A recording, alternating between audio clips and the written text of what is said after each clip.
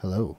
Welcome everybody to Miniature Mondays. I'm Josh from Mini Painting Studio, here to paint more miniatures with you. So, uh, I guess real quick, shout out to D Clearman, right? Subbing again for nine months. Remember, you can sub here on Twitch with Amazon Prime for free. If you haven't done that before, all you got to do is click the little subscribe button that's on the, I guess you're over here, this part of your screen, top right, and you'll be able to uh, link it to your Amazon account and get that information. So, of course, today we are painting uh, the big boss monster from our first encounter. So if you want to go to close cam for me. Yep. Bam.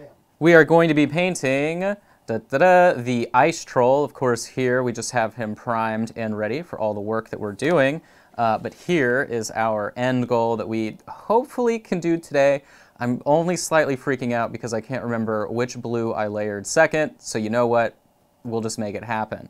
But of course, if you, this is your first time joining, you don't know exactly what we're talking about. We've been working on four miniatures this month. So first miniature that we painted, of course, was this puppy right here.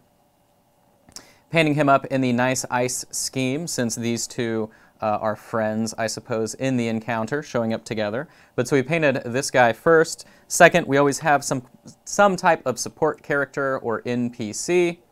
And so here we have Oswald the Overladen. This is the guy that uh, we ended up painting last week. And then our final miniature for this encounter for January is our hero here. This guy is a metal miniature. Um, I'll have a video on preparing this metal miniature for you uh, before we get started next week. Um, and it should be relatively quick, so we'll probably play that in at the beginning. Justin will load that in for you, and you'll be able to see that. Any metal miniatures that we have or anything weird that I need to do for prep, I'll now film for you at home, and then you'll be able to see anything special that I did to help you also assemble your stuff if you're not as familiar with metal or whatever the case may be. And, of course, I know a lot of you have been excited to find out what we're going to be working on, so we are announcing uh, next month's encounter. So this month, our hero was trapped in some type of ice storm or blizzard as he was navigating his little little pack animal friend here. It's funny, he's Oswald here is almost as tall as the dwarf because he's so overlaid and how appropriately named. But you can see that we have these here, uh, you know, in our snowstorm as they were ambushed and attacked by a puppy and a gigantic ice troll. So now then, every month you gotta you gotta do a little movie D and D magic with me here, or and or whatever role playing system you want. But obviously, our hero and support characters change. So our hero for next month is we actually have the names. I don't have the names right now, but I know we do have the SKUs. Um, but so we have this wizard right here. You can see we have some nice warm brown red tones and this nice sort of off muted green, so not really an olive green.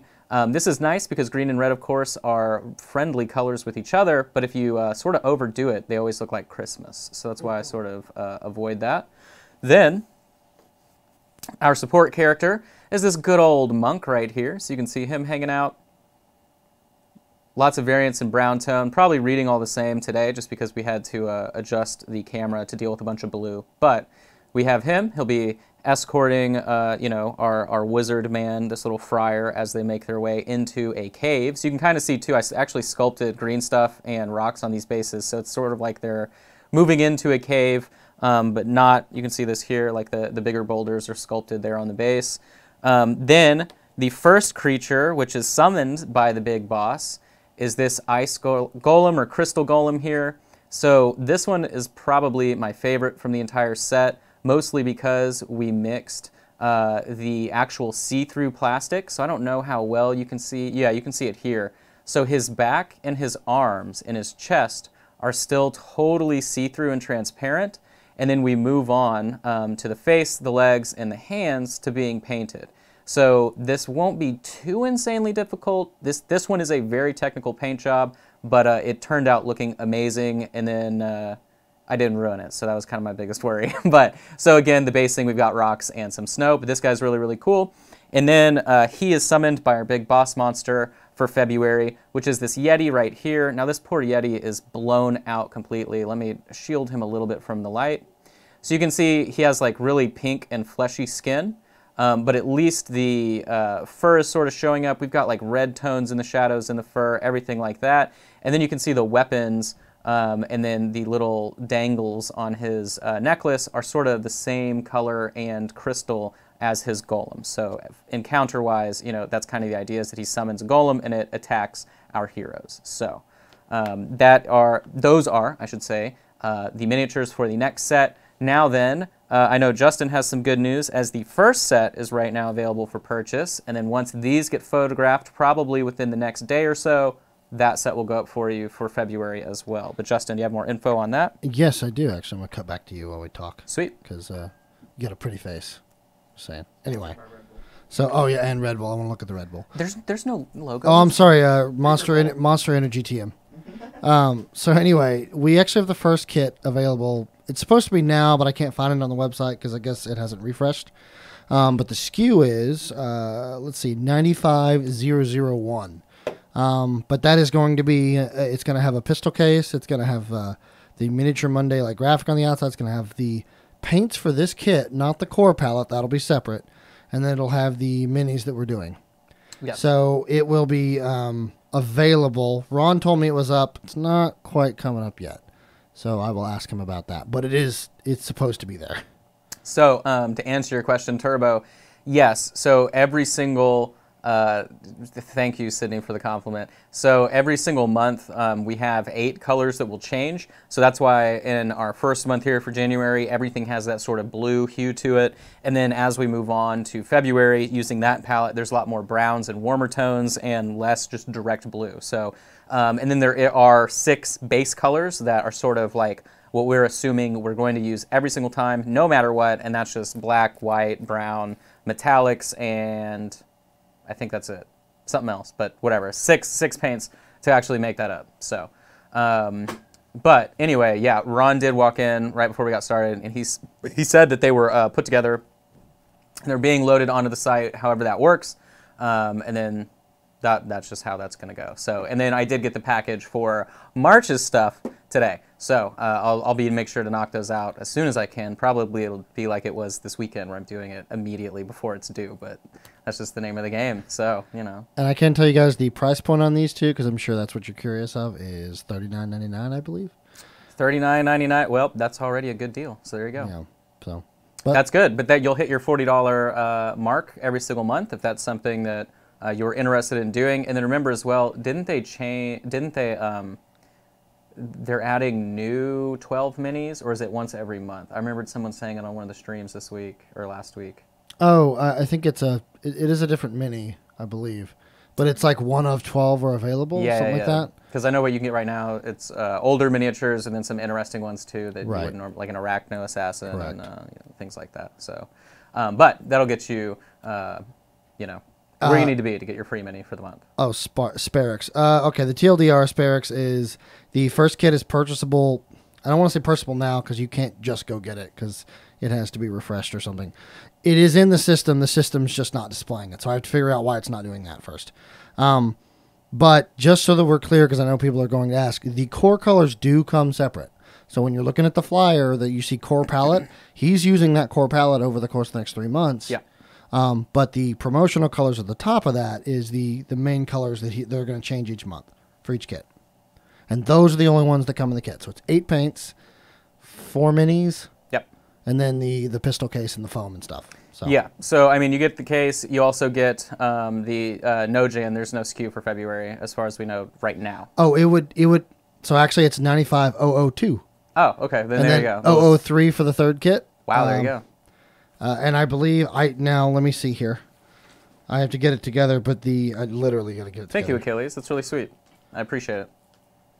Oh, look at that. Thank you, Achilles. Um, and the core set SKU, when that goes up today, will be 95000.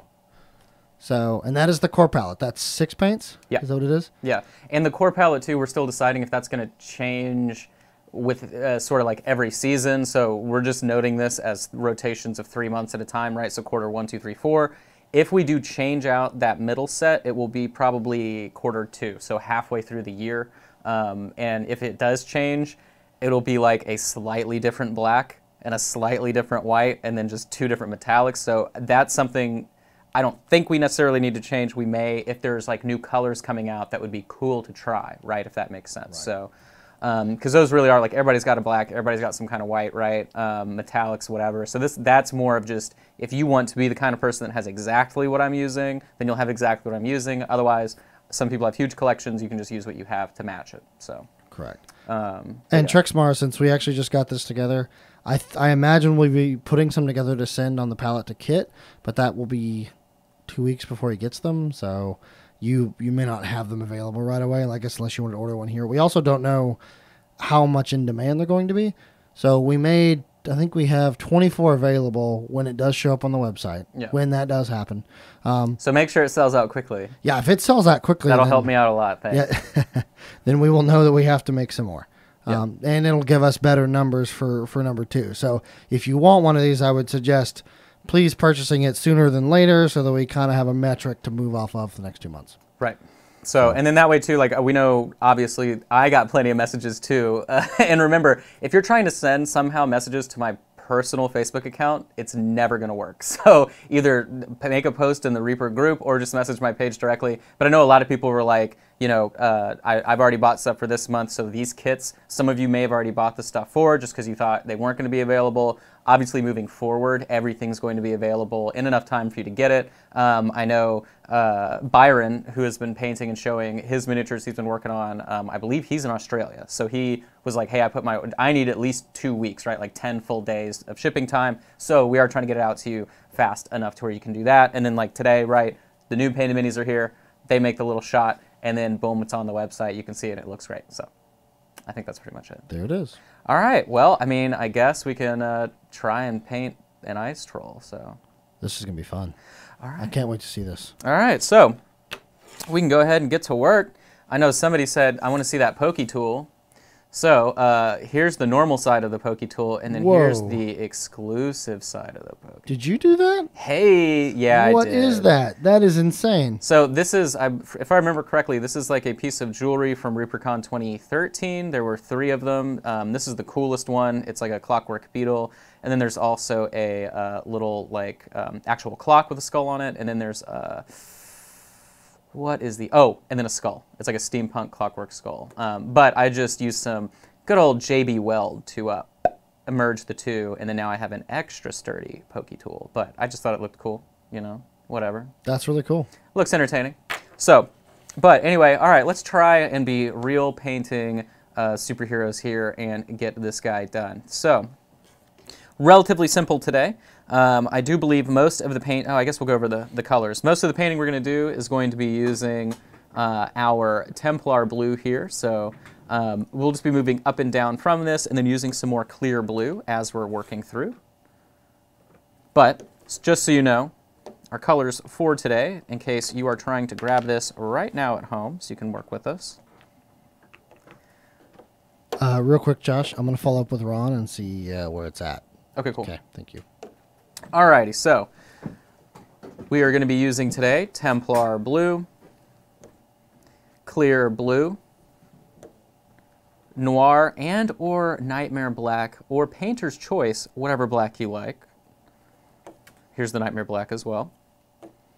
Linen White, Shadow Green, Snow Shadow, Stone Gray, and Dirty Bone.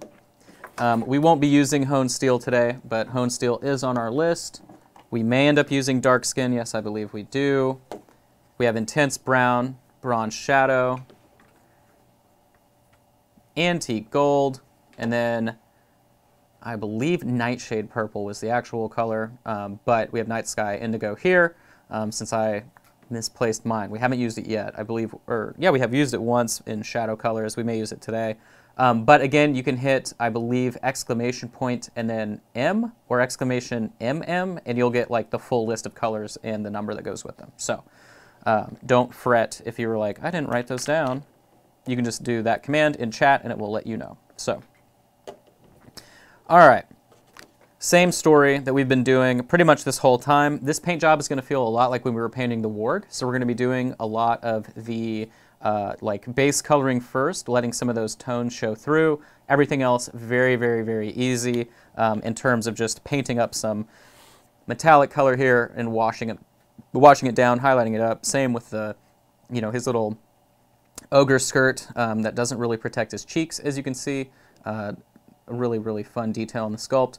And then all, all of his little sort of craggy texture on the back, um, that's just sort of washed down with clear blue. So let's attempt to do it, shall we?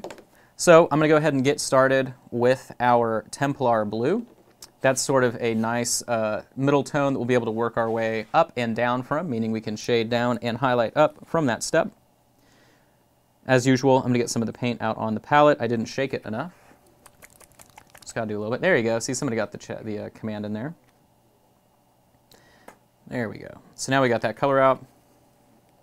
I don't expect to need to add really much water, but I am going to prep my little surface like I always do. All right.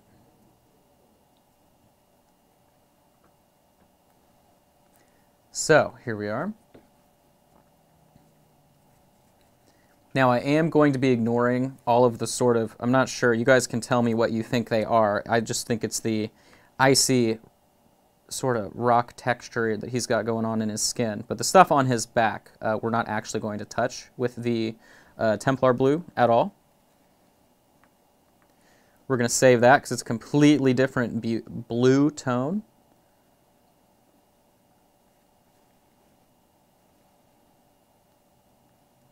And I'm at about a one-to-one -one ratio of water to paint, as usual.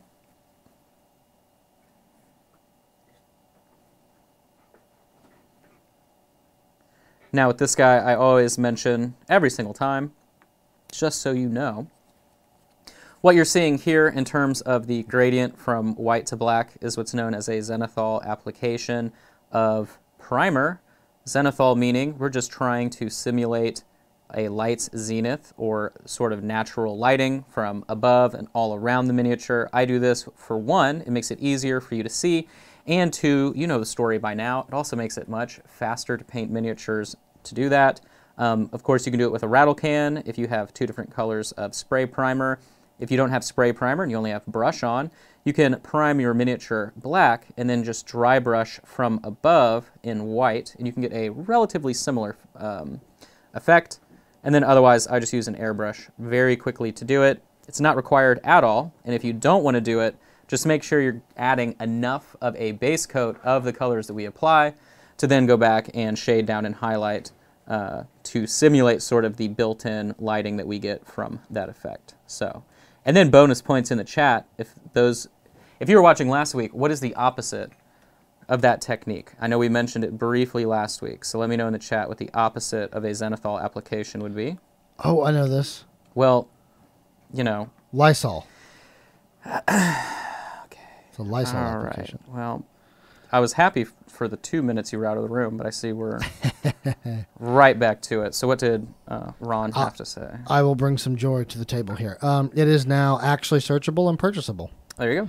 So, if through some stroke or miracle we manage to sell all 24 of these before this show is over, I will, uh, I will, I will gift our chat 10 subs. Wow. Through some crazy, I don't expect that to happen because there's no picture. and so it's only the first is it multiple sets or just one? It's just kit one right now. Okay. Kit two's not up because we want to have pictures and stuff. This still needs pictures. Hell, it still needs a description. There you go. So, it is available for those of you that want to get on it right now before it quite obviously sells out by the end of the evening. Oh, who got it first? Who was that? Vigo, was that you? Nadarol? Yes. Or Nadirul, if you want to be even more fancy. That's less fun than Lysol. True. Now you could hit a mini with Lysol, I just don't think it would have the uh, intended result. So if simple green's an indicator, we can pretty much guess the paint may not enjoy it. All right, so we're almost done with this base coating. The uh, base colors, the base color one is not in yet, Gypsy. That one is going to, uh, that one's going to be in probably after the show um, since we just have to put the SKU in and the paint numbers, but it's going to be in today. But that one is just 95000. So. How many SKUs does it take to start a painting show? I feel like there's a joke there. Uh, yes. All right. Now, is it at 95 because there are 95 95,000 SKUs. I think so. Uh, yeah, I'm pretty sure that's what Ed said. We have 95,000 products. now, most of them aren't in, uh, you know, what do, what do they call that? Not in, not in catalog. Right. Yeah.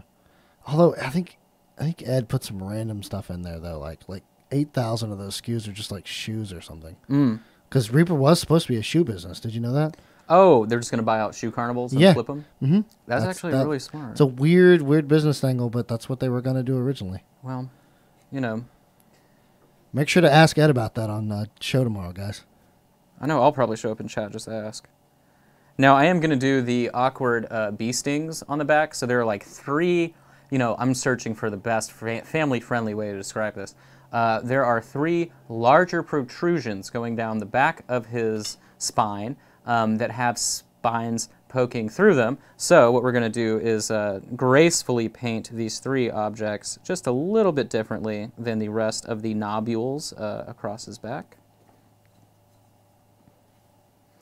That's pretty much it there. And we're going to wait for that to dry, of course. Hey, Jacob. Good to see you.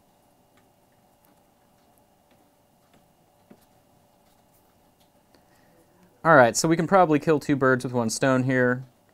So let's go ahead and use our antique gold to base coat the rest of his armor. Last week was a bit of a finicky paint job just because we had so many small details to worry about. This week, painter's anxiety not too bad. Uh, really, the main focus on this is painting, learning where to place highlights on skin, and then painting this guy's skin directly. So if you're not really used to larger figures, I know when I first started painting, uh, something this size would seem really awesome, like I would want to paint it, but then I probably would have been uh, a bit more apprehensive about it, so don't feel too distressed. Really, really basic principles here, other than the skin, and that is what I'm here to do, is help you out with that, so. I also put a link to the actual uh, 9501 SKU in, uh, on the Moobot command there, guys. So if, uh, oh, look at that. We already, that's the first one sold. Bam. There you go, thank you. Thank you, Vo. Uh, you go ahead and take that, Josh. Yeah, so that would be, um uh, yeah, Voe CVS. That's actually his CVS login. Um, I'm assuming he works for CVS Corporate and is a secret millionaire. So Perfect. There we go. If we get sick and we need CVS points, we know See? exactly who to ask. He flipped shoe carnivals. Oh, he took the idea and actually executed it. If you flip a shoe carnival, does it become a shoe circus? I'm sorry. We got a we got a nice troll to paint here, guys. So moving on to the third panel here. Now this one's interesting because it has a bit of a divot. Now I thought that was maybe like a a, uh mold error or something when I had mine, like a little little dip in the bones material. But uh, no, that's actually a dent in the armor. So there you go. I didn't mess up on mine when I painted it. It's always a nice little discovery. Uh, Turbo Cooler wants to know what the brown you're blocking in right now. What is the brown? So it's obviously a part of the kit. Which brown is that, I guess? What is the brown? Okay, so that is actually not brown at all. We're using antique gold. Or gold? It's just sorry. it's so old it doesn't look metallic. So there you go. But it is a darker. It's almost like a copper, honestly. Uh, but I like sort of middle middle of the middle of the road golds like this because they're easy to sort of tint to either like a bronzish copper or a bright bright shiny gold depending on how you treat it. Going to do the little details here on the belt.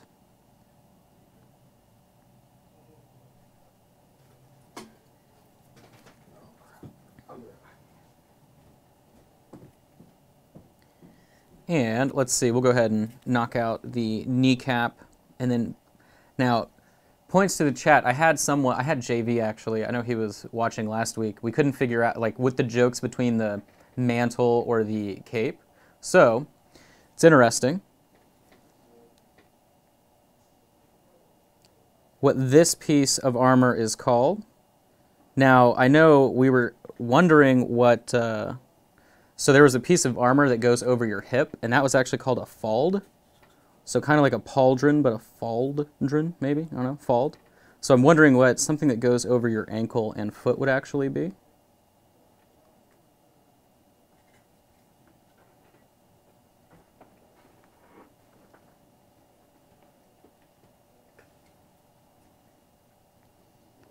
Let's see. Hitting the other part of this. Now there is some, oh, spats. There you go. Or a sandal. Thank you. So uh, there is a little bit of chainmail hidden underneath. I don't think I hit it. Let's see. Yeah, so on the one that I painted, I just pretended that was some type of uh, fur texture. Um, but you could paint barely underneath the plating. So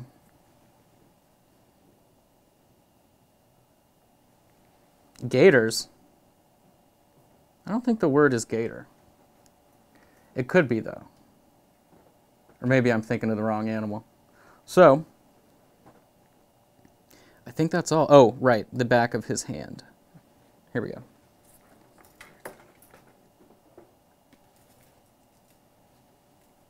Sabaton for the feet? Sabaton? Haha. I feel like that's half of the education you get as a miniature painter. You start figuring out the strangest small things.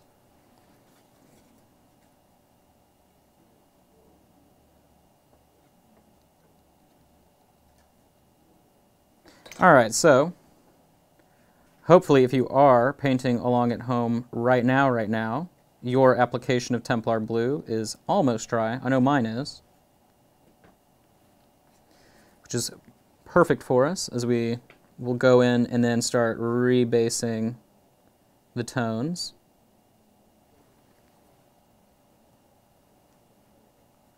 Crocs, yes. That's what we're going to call them instead of gators. I wonder if that was actually an intentional naming device for Crocs. That's actually, what have we discovered here? Very ingenious. So I'm going back over one more time with a secondary coat over these main plates of armor, just because I do want them to have really nice coverage, because we're just going to wash all on top and let gravity do the work for us. There we go.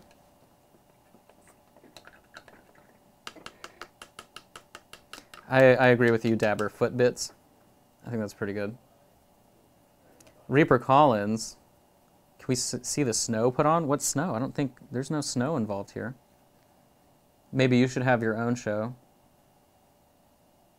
Should call it, uh, what could we call it? Colin's Secret Garden, where you do nothing but basing. I think that one's pretty good. This old base with Collins, since you're doing such home renovations currently. All right, so now that that's dry, we can either approach, let's see, did we use the same browns? Pretty much. Okay, so what I'm going to do is I'm going to bust out uh, intense brown as well as dark skin. We're going to end up mixing these two to do sort of our base for our different um, browns for his straps and his uh, strange little skirt that he's wearing. Obviously, you wouldn't want to tell him he's wearing a skirt to his face, but maybe that's the issue the adventurer ran into. So, focusing more on here, oh, this old base, that's actually pretty good. I like that. So, using intense brown, we're going to go over the wrist guard straps.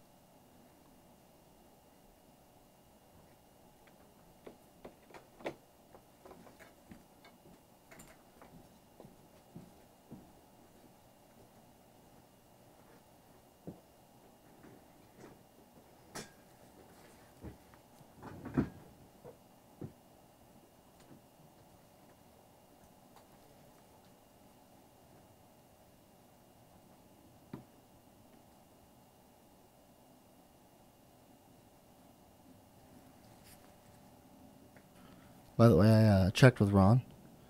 Uh, Josh. Uh huh. We've uh, we've sold one. Oh wow. Yeah. So CVS is first ever. Does he win something? He he wins being special. Oh my gosh! Congratulations, CVS. Today's your day. Oh, and the numbers. So yes, I don't know if you saw his comment. That was the first ship he was on. I guess is what he said in the Navy. Oh, It was like the idea of the ship.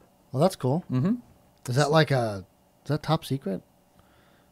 I have no idea. Oh, okay. I'll just assume not, and then we'll all assume not, and then that way he doesn't get a knock at the door. I'm, I'm hoping. Okay. Uh, they are they're coming, Trashrama. We uh, you know, we're putting them together and kind of figuring out which ones uh which ones we want to use. We have so many slots now. Basically, everything's making the cut. So obviously, we can switch them out in the future if we need to. All right, so I'm using that same color and doing the belt directly. There we go.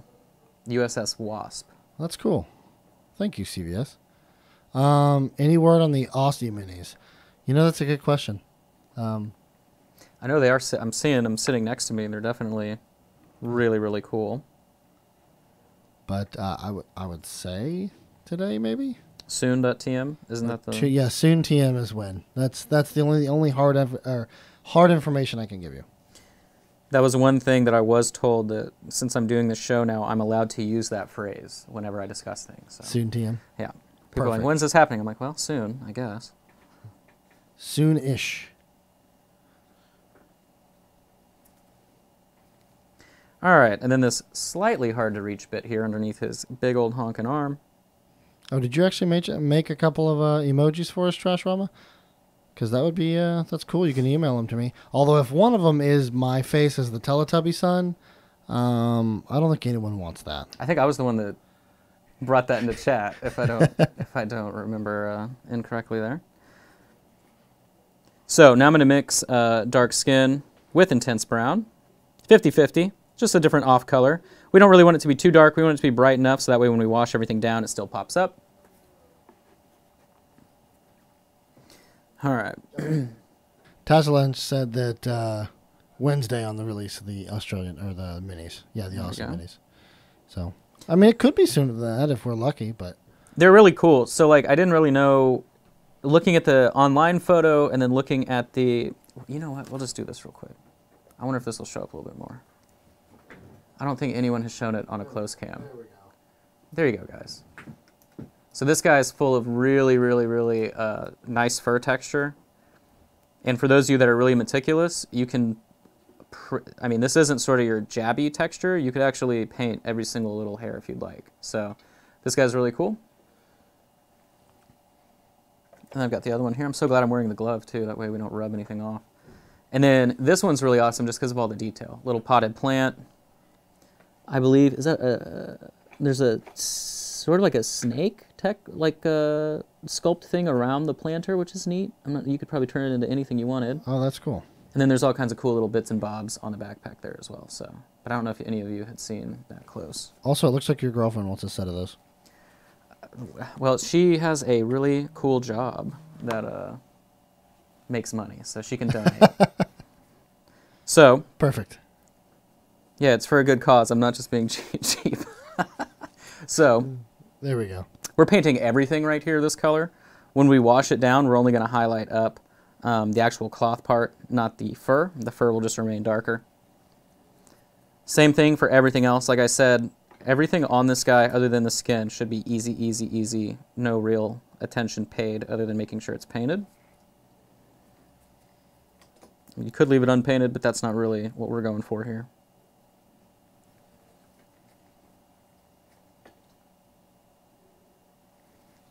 Go ahead and mix more of this color.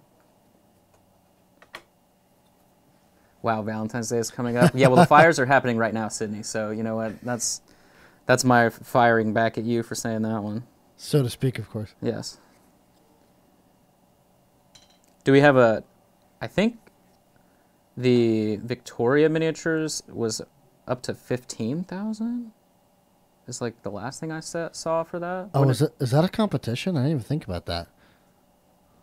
Well, their kit's much more expensive. It is. if that's the case, you'd be having to sell six times as many. And I, listen, I like I like drop bears, um, and I like you know Right. I know koalas are same thing, whatever, right? I like koalas, but uh, the tank kind of looks cooler. Tank is me. very very cool, yeah. but totally different ball game, obviously, in terms of prep and assembly. I just like to imagine a tank running over the fire to put it out versus a koala with a fireman's axe. Well, I would rather imagine a koala driving the tank over Uh, fire. What just happened? This needs to be a thing. Because that's we need gonna to sell this. Yeah, because that's what's gonna save them. Not Koalas driving tanks. the yeah the poor animals have been through enough. I don't think they need to be traumatized by an APC. Oh, gosh. Is that is it an APC? I, yeah, I believe so. Oh, Kangaroo okay. APC. That's really cool. It's got it's got a rad roll cage. Well, it rolls other people, but it's got a Yeah. implement in the front of it. Yeah, definitely cool. I'm hoping to see. I mean, I wouldn't be surprised if we actually saw one at ReaperCon this year. So In kind of uh, commemoration, I guess. I'm hoping to see more people enter into the historical uh, division as well. I know I didn't last year. Uh, I almost did. There was just physically no way that I could actually get it done in time. So um, that'll probably happen this year. Wink, wink, hint, hint. Yeah, yeah, yeah. All right, so aiming towards the bottom side of the base here.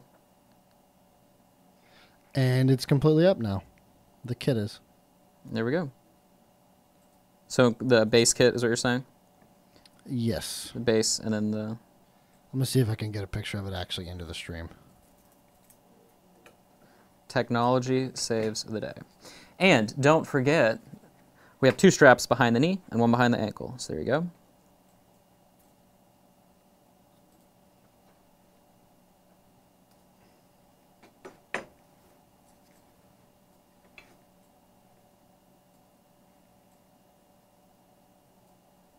There it is.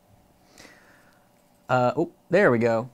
Oh, look how cool that looks on the uh, the case. I really like that. Looks really nice. So there you go. There's the kit. That's what you know to expect.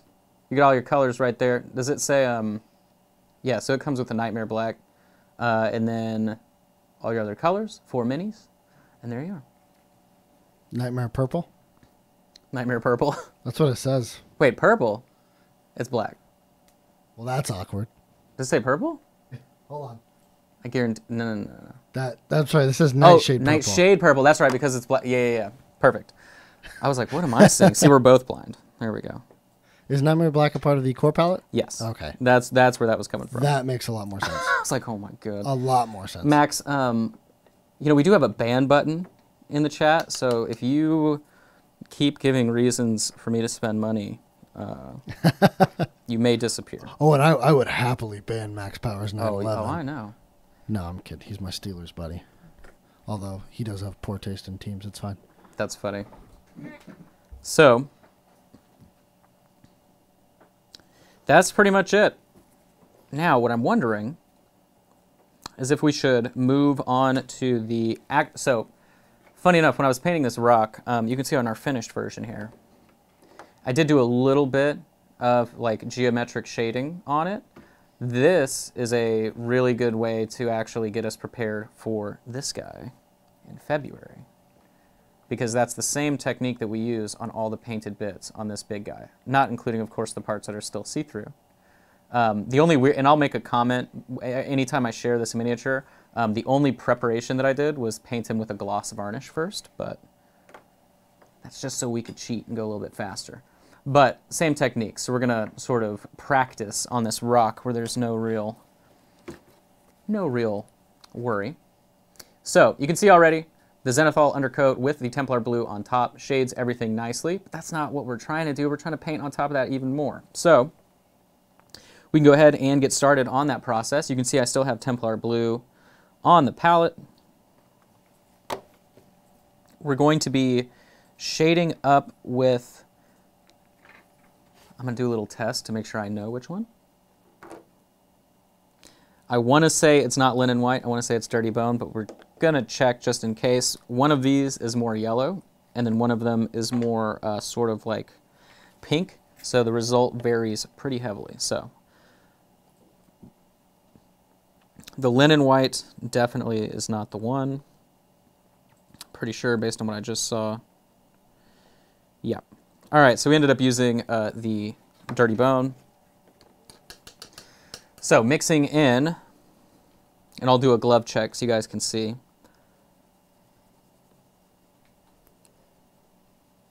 We're going to have pretty much two parts Templar Blue, one part Dirty Bone. This is the color that you're looking for here. You can see how thin I'm going on the glove. It's got body to it, it bunches. So if you're wondering what consistency, if you're really trying to get close to what I'm doing. All right.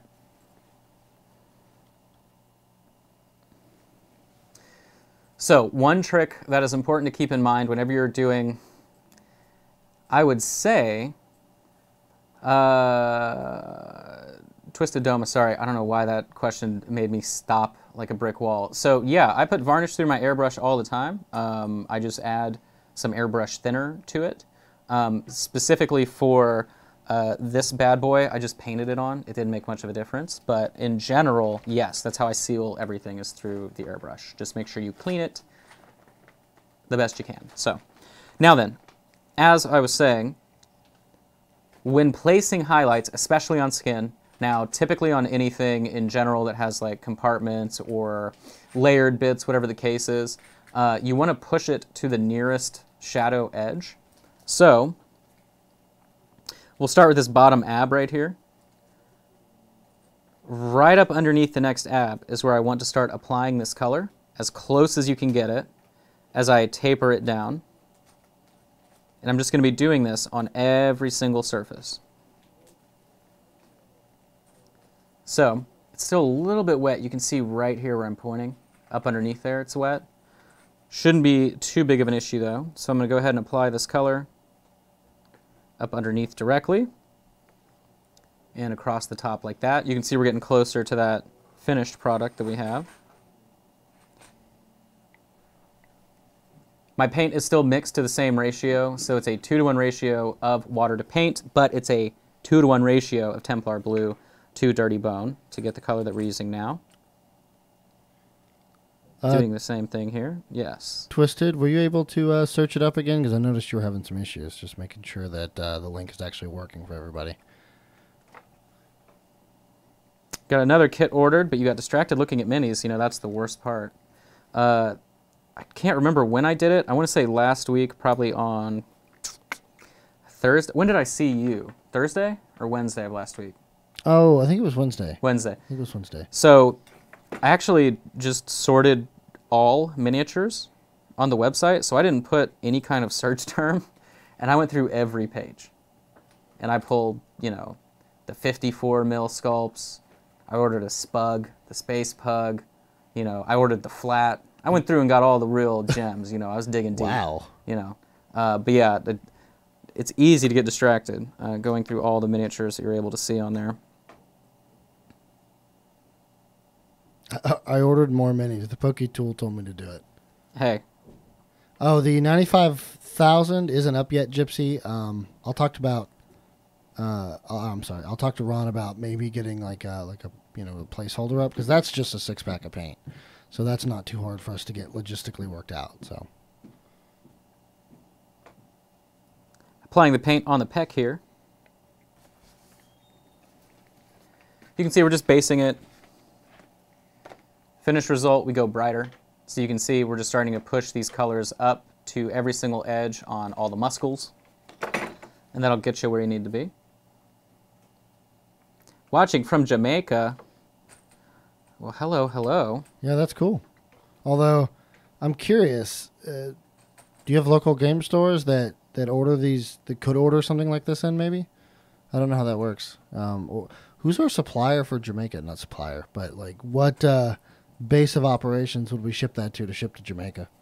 I'm asking uh, Ed off camera in case you guys are curious. No idea. Oh, Ed doesn't know.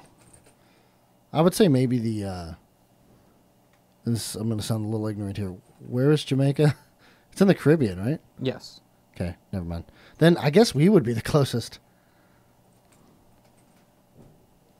You never know, too, though. Like, some hubs pull stuff down and then stop um, through that area. So, like, so, if you're sh- sometimes if something's shipping from the UK, it'll actually dip south depending on who it is. Like DHL, or make we'll make a connection there. Weirdly. okay.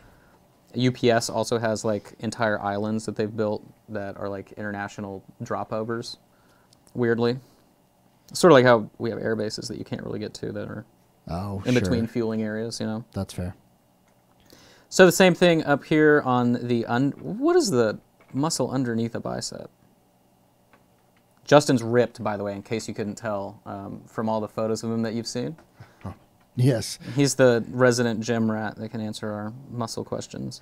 Uh, that that's a that's a much older me. Or I'm Oh. sorry, much younger. Much me. older you. Much Okay. younger me. All right, we're gonna get to work here pretty Hasn't soon. yet, yes. Workout Wednesdays with Justin. Here we go. Musty Justy's about to But but that would be uh, tricep. the triceps underneath. Yeah. So is. that's what we're doing is we're pushing the tricep highlight right up underneath the bicep, and then highlighting the top of the bicep. Just like that. I Look at that. I did come across a legacy photo the other day of me from like four years ago, Mm-hmm. and I was in much better shape. Mm. So now it's uh, posted up on my it's on my refrigerator, so I have to look at it before I go and get food, so I can make better decisions. See, I look at photos of me from who knows, maybe four or five years ago, and I'm like, oh look, I was so much skinnier, but so unhappy. Yeah, so now it's like you know maybe I'll just so I'm like, you know what? Maybe I do want that extra taco. All right, so, or you know, having breakfast for dinner, brinner, as it were. I actually have that planned one night for this week. Hey, that's Sadie and I had breakfast for dinner. I think on Saturday night. I think. That sounds fantastic. We had eggs with uh, Thai red curry, um, cheddar mixed with sriracha cheddar, aged cheddar. Um, that was really good. And then we had uh, I could the face that Justin's making right now. He's like, "What?" And then um, we had some sausage that I put uh, Chinese five spice, red chili flake, and um, you know all the other goodies like some garlic and etc. And made some little patties out of that bad boy and then we just let them all, all marinate and go to the deep end of the pool of uh, maple syrup because that's the way that it should be done. This sounds amazing. Because you well, you got to get the sweet with the heat, you know. I agree. Offset the salt. Completely agree. So, but it was really good. You can't go wrong. And these weren't, you know, those thin, sad McDonald's pancakes either. These had some body to them. The ones that are that are almost always cold when you get them. I don't think they. oh, they are. Warm. Uh, you'll get like a the edge of one that'll still be hot, but it's only because like some grease had hit it. It wasn't even just hot itself. Nothing against McDonald's pancakes. Of course, we've all been there, and I'll probably be there again. But it's like that. What we should have said. Sorry, McDonald's is the uh, microwave pancakes that are frozen, and you're like, "What is this?" Yum. like stuck to a paper plate on the bottom. Oh look, I, uh, I my uh, Max Powers is back after I timed him out. Oh, great. He he came back. He didn't take the hint. We missed you, Max. All right. Flatiron Pepper Co. All right, I'll check it out.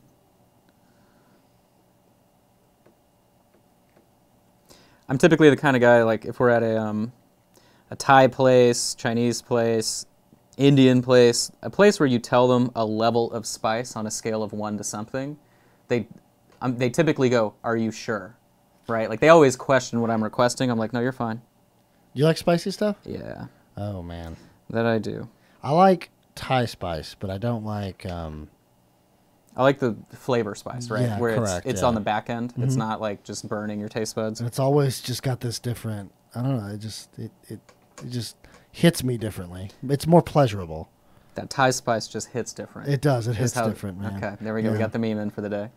Um, but yeah, the uh, probably that is close. So like, I, I'm a huge fan of uh, yellow Thai curry, really hot, because it's still pretty sweet. And then typically you have it with potatoes and stuff, so it, the starch helps kill that heat. Um, but my absolute favorite is anything with uh, Szechuan peppercorns because it numbs your mouth. Ah, So just everything goes numb, and you're like, "This is so hot," and then it's not hot because you go numb, and then you're like, "Wow, I'm numb." So you take another bite, and you're like, "This is so hot." I mean, it's just, it's just a never-ending cycle. it's great. It's one of those things where everyone at the table just takes a break to go. So, No, I'll never do that again. After I eat a uh, a whole uh, ghost pepper, oh, I have been there before. and that was probably the most miserable I've ever been. What's interesting about that is how it plateaus and then sits for like 10 minutes. Yes. And it just doesn't stop. Correct. You're like, this is, you and then it just literally stops. Like it goes from 100 to zero in the course of like a minute. It does. I remember just dumping milk on my face and my mouth, and it just nothing would make it go away. See, for me, I it was painful, and you sort of sit there like, wow. But then your endorphins kick in, and your body's like, we're gonna go into shock here to protect you for a few minutes, and you're like, oh, that's not that bad. But this is great. yeah, yeah, I had a friend that uh, had a crazy garden when I lived in Oklahoma, and one year he just decided to uh, starve his peppers he was growing and try and um, drought them out to make them hotter, and um, I think he succeeded based upon the pain we were all in. So. Wow. I couldn't imagine actually nomads is uh, they use their the reaper peppers in their chili.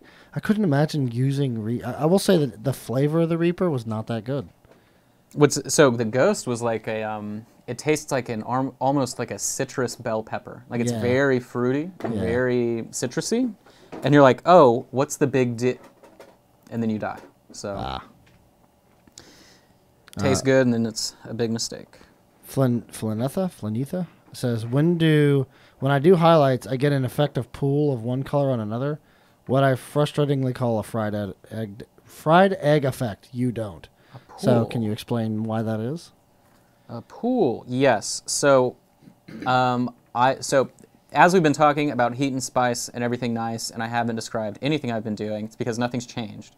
So I'm still just going through and sectioning out all of the um, different, uh, you know, muscles, right? And we're almost done as I'm moving my way to the back of this uh, left arm. But so to try and help you out here, I'm running out of Templar blue anyway on the palette, so we'll, we will just sort of do a quick demo and I'll do it on my little layer up palette so that way it will all make a lot more sense. But, so here's the deal. As I don't shake my paint, there we go. Yeah, I would. I don't think Snow Shadow is supposed to come out clear, so that's my fault for not touching it for a week. All right. So, I always use now. A quick caveat on just all of my painting in general. I it's very very wet. It's always very very thin, and I use a natural bristle brush.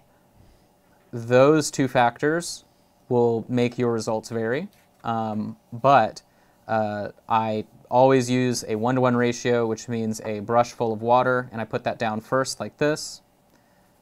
So you can see that there. There you go.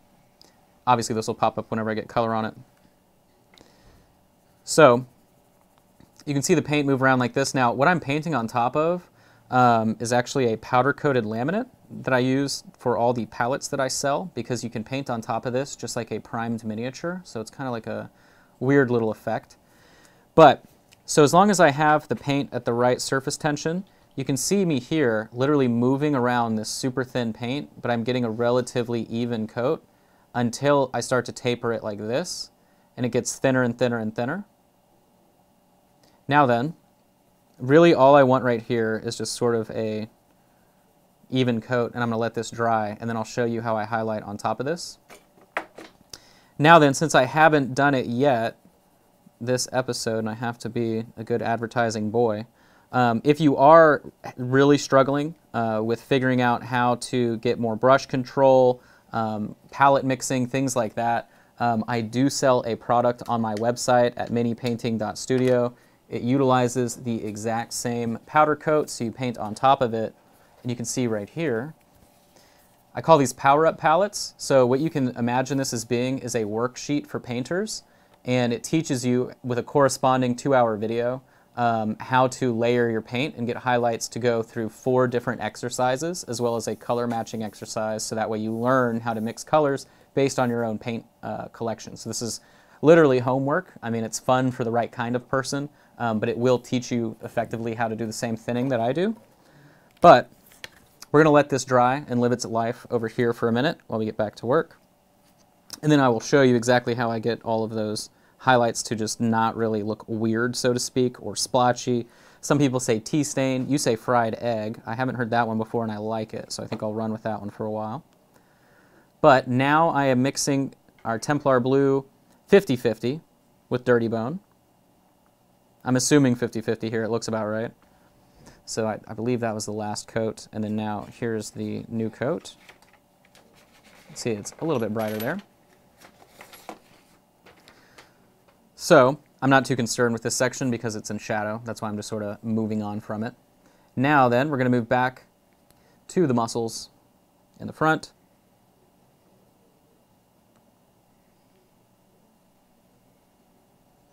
Pushing again directly up under the muscle, like that. You can see how bright that gets. And I'm pushing the paint, so I'm physically pushing the brush at a 45 degree angle up underneath the muscle. And that way I'm getting the paint to pool in the direction that I want it to dry. So it's like an automatic way to create a taper effect. You could layer from above. Um, so quick poll in the chat. How many people only paint this direction when you paint? See what I'm doing on my wrist? How many people paint like that? Now how many people also paint like this? See how I'm able to control where that paint's drying? This is actually a really good trick to create tapered highlights in small areas because you can control where it's going to pool and where it's going to taper. So, type a 1 in the chat if you only do that. Type a 2 in the chat if you also push up or any other direction. So, that's what I'm doing here to get a really, really easy tapered highlight effect. Of course, you have to have the paint prepped enough, meaning the uh, sort of right ratio, in order for it to be nice to you and, and do that.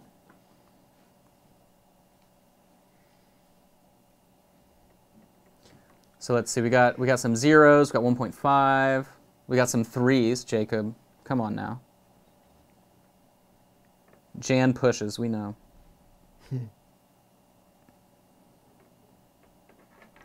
Last year at ReaperCon, Jan sat right next to me on Sunday when I brought like eight dozen donuts in the morning. and she sat right there and said, Show me how you push paint. And so I just pushed paint for about 30 minutes. And hopefully it helped. I think it has. I've been seeing Jan's work for quite some time and it keeps getting better and better. So. no, no, Matt, I'm not surprised uh, that we're getting silly answers at all. That's to be expected, of course.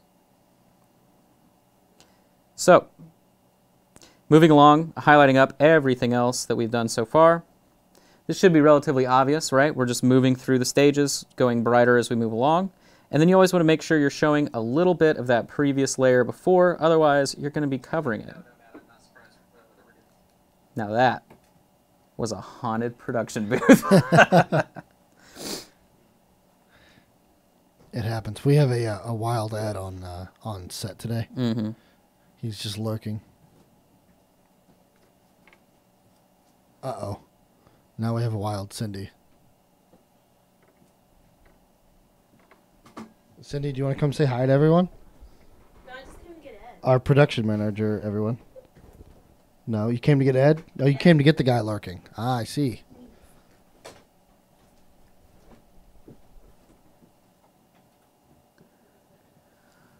All right, so highlighting up. So if we compare this dude to our other dude, you can see we've got one more layer to go. But look at that, we're starting to round them out. Actually, I think, uh, are these obliques? Is that what this is? I know it's a word. Is this an oblique underneath? Yes, it is. Those are the. It's the outer of your abs here. Yes. So on the side. So yeah. yeah, so I think that oblique highlight looks a little bit better. But when will the next kit be shown? Road Dog, you must have joined late. Uh, I'll show them again. Um, we have the new miniatures here. Finished them up yesterday, and they should be photographed and uh, uploaded. The kit is re- like is ready to go live on the store. So let me say that whole sentence.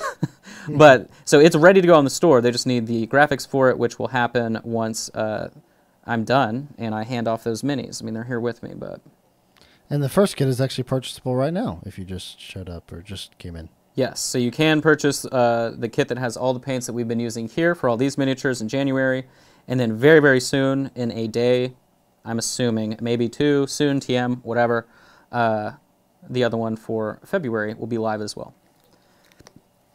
Uh, Mazamune wants to know uh, if you're going to wash this or put do a wash. Sorry, not wash it. Nope, there's no uh, real. So yeah, I mean the the wash that we are going to use is going to be across all the the bumps on the back, but for the skin we don't need to. Um, So if you didn't uh, use like, so we're gonna wash. I sorry, I'm all, I'm assuming we're talking about the skin. No, uh, we are gonna wash all the other sort of boring details. Um, otherwise, nothing else beyond that. So that's kind of what the Zenithal undercoat does for us. Is that it allows us to get some of those deeper shadows, including our base colors, uh, as we start early work on the miniature itself. So.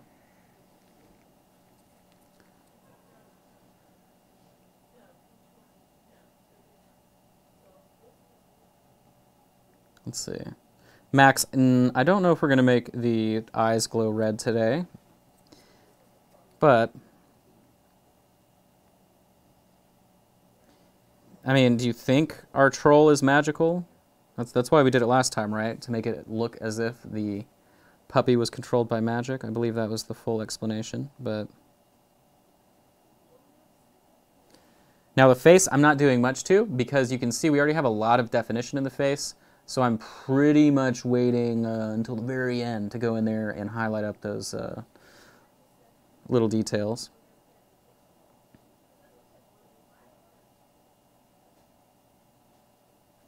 Going in and fleshing out the neck. Wow, I think that's the first time in my life I've ever been able to use the term fleshing out when directly referring to flesh. First time for everything, I guess. yeah, Justin's like, oh, my first time I can't talk about. I'd go to jail. Uh, yeah, I almost went to jail. Okay, there we go. See, careful what you wish for with Dusty Musty. Fun fact: I Dusty uh. I learned kind of the hard way that um, public parks Mm-hmm. um, they do indeed have a close time. Oh yeah, isn't that crazy? Yeah, no, they just you can you're free to drive in and out, but fun fact: after a certain time, they are indeed closed. Oh yeah. Oh yeah. I think that happened to me at um, disc golf courses. In uh, when I used to live in Edmond, Oklahoma, they have two amazing courses that are public parks, um, not dedicated just to that. If that makes if that makes sense. Right. Um, and so multiple times we're trying to finish up like right as the sun's going down, and then you hear someone coming, and it's just literally a cop, and they're like, "Park's closed," and you're like, "Ok- "Okay, we're not criminals, dude. Yeah. No. Exactly. We're just out here trying to enjoy life." This was a city park, uh, Dabber. Weird. Yeah. Oh, I assume that's kind of a hey, don't make this your house type of rule. Uh, basically, it was Yeah. a I'm going to give you a ticket for being in the park after hours. It could be much worse. And I'm like, yes, officer, you are correct. That's cra- I mean, that's still kind of funny, but yeah, that's a lesson that you're like, should I have learned this lesson in the first place? Did I need to learn it? But all right, thank you, officer. Still Thank makes you, a good story to this point. Oh yeah. Just disco golf. I think. I think you mean. Or I think. Yeah. I think Josh meant disc golf. Did I say disc? I said disc. I Well- didn't say disco. Uh, Sydney said uh, might be rethinking this relationship. Oh, an upscale version of hacky sack. she knows just as well as anyone. She would have seen a disc golf disc somewhere in my house at this point. What's crazy to me is how they vary like golf clubs. Like Mm-hmm. it's like you pick one up and you're like, hey, don't touch that. That's my putter, basically, or whatever, you know. Yep. And it's this tiny little. It's just you know. Or the price. What what was her name? Uh, it's uh, it's unimportant, Jacob. Wow, Jacob, come on, man. See, Jacob's he's he feels a little too comfortable now. I will tell you this: her first name was a palindrome. A palindrome, so she, she was animatronic. Yeah, we'll go with that. Why not? yeah, yeah. Ah, That's pretty good. Pretty, pretty good. All right, so now I'm just adding linen white for the first time to our mix as we're finally going to finish out this skin. Uh, it looks like I probably did use our, our um, clear blue somewhere in the skin on my initial paint job, but we're so good this time around, we didn't need it. So, And the and the money goes to uh, Vaxar for guessing it right the first time. wow. Anna, a lot of Annas though. That's that's. had I like that her name was Noon. I don't know anybody named Noon. That's kind of a cool name. Also, you are correct, Max Powers. Not not my current uh, fiance. Not the same person. Go here to. So, we're moving towards the end. So we're moving in with our one-to-one mix, Templar Blue, with uh, linen white added finally for the first time. That's okay. Now, start with 24, right?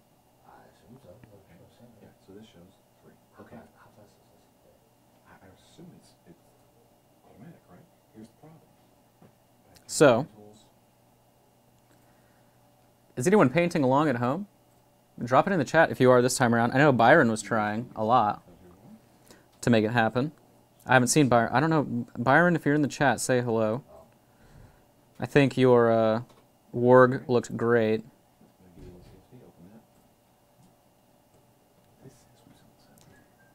Max is like, Max like something's happening in the background. You are right, sir. I'm just trying to gracefully host our way. You're sculpting, Rainbow Sculptor. What are you working on? Anything fun? Will the January uh, kits still be available? Um, so I can probably ask. The old kits will always be available as long as they're in stock. So like January will still be there in February if I'm somebody. sure. Yeah, we're gonna continue. I assume as long as the video's up on YouTube, videos, then yeah, we will. Uh, Perfect. Hey Reaper, is my addiction. I'm glad you're painting along with me. And I'm sorry you're sick, Max. That's no good. So I I wrote kit, All right, cool. which is. Hey, go uh, go back to the other page. So you can see how drastic that highlight was. So, and I actually feel like I like this one more. Ed, I like this one more now. Okay. So Go back to the products page. I feel like I'm painting in my house right now. Sorry, Josh. I've got Arthur thrown up in the background. We've got a party in the front. All right, so I'm going for the abs here, the obliques, the triceps, the biceps, the omiceps, 24 minus 21. all the things you can see here. Right? That's what I. Highlighting our way up. Yeah, I actually do think I like this highlight color better. I, I remember specifically when I was working on this guy, when I was painting the first copy at my house, that I was kind of not impressed with like the highlight structure I had. So I'm glad that this one's working out a little bit more dynamically. Could also just be the uh, camera as well. Wet blending the warg. Winter Z. I've got a question for you. Do you use a wet palette, my friend? If you live in a place where wet blending dries too quickly, there are two simple suggestions that I have for you. Uh, one uh, is that you should be trying a wet palette, and then the second suggestion is can you purchase a small cold air ultrasonic mist humidifier? That will save all of your painting, my friend. That is all you need. I use one all the time.